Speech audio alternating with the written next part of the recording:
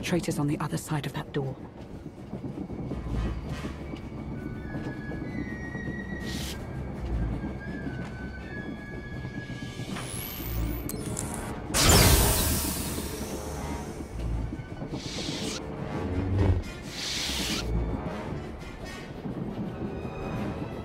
They're gone.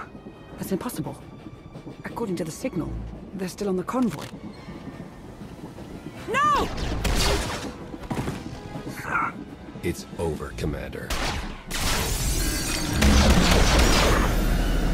In a few minutes, this train will collide with that mountain range. You'll be disintegrated, and I'll escape with the Adegan crystals. Don't worry. You won't feel a thing. I could end your miserable life in an instant. But first, I want to hear an explanation from the traitor's lips. When you show your true colors, it makes all this easier. Luring you into that trap on Iokath was just the beginning. Ever since you defeated Valkorion, everything I've done has been towards one goal. The total destruction of the Eternal Alliance. You helped build the Alliance. After everything we've been through, why tear it down now? What I built was an end to the Eternal Empire, not this.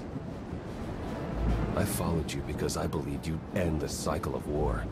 I thought we'd finally be free once you took down Valkorion.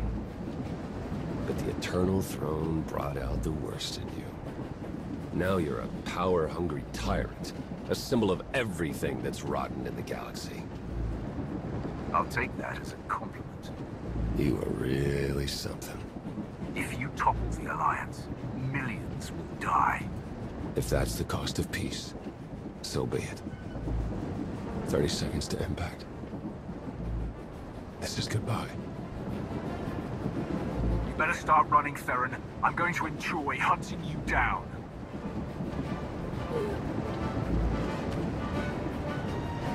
Lana, Theron escaped.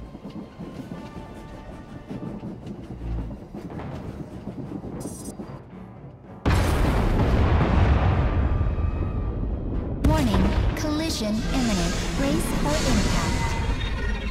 We need to survive long enough to make Theron pay. Jump!